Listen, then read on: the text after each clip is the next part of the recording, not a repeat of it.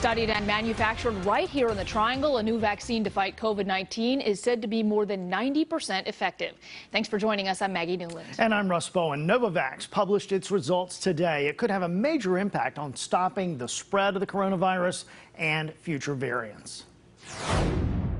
With a visit from then President Trump, Fujifilm Diosynth in Morrisville announced it would manufacture components for Novavax's attempt at producing a COVID 19 vaccine. 11 months later, clinical trials show it to be more than 90% effective. While it shares a few similarities with Pfizer, Moderna, and Johnson & Johnson, it is also different. This is where they actually take a virus and give it some genetic information, put it inside of the cells from a moth, like the insect, a moth use that cell to, as a sort of a crop um, to make spike proteins, collect those spike proteins, assemble them together, and then inject it. CBS 17 morning meteorologist Bill Reh was part of the trial and has had the vaccine since January. They really look after you, that it's not like you're just a number. You're, you're really important to them. And you get that feeling like, yeah, I'm kind of in really good hands here. Why not? Portions of the trial were spearheaded by UNC School of Medicine. The Novavax vaccine has one crucial element that sets it apart. It doesn't require the, the strict cold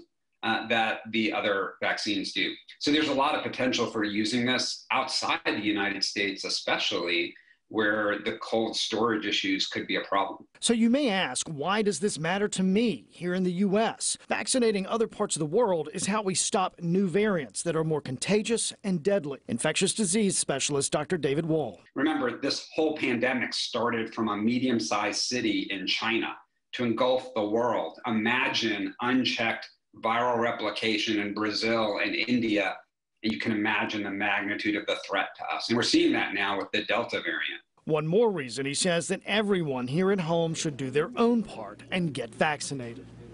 So we are still waiting on the specifics of the trial. That data, of course, is what doctors and scientists really need to see as we move forward. Novavax is working with the FDA, hopefully through September, hoping to get that emergency use declaration. Yeah, and I know it's so important to get the rest of the world vaccinated because as long as we're traveling, it's going to come That's here eventually. Right. Well, it gets here. As he said, this virus knows no borders. Mm -hmm.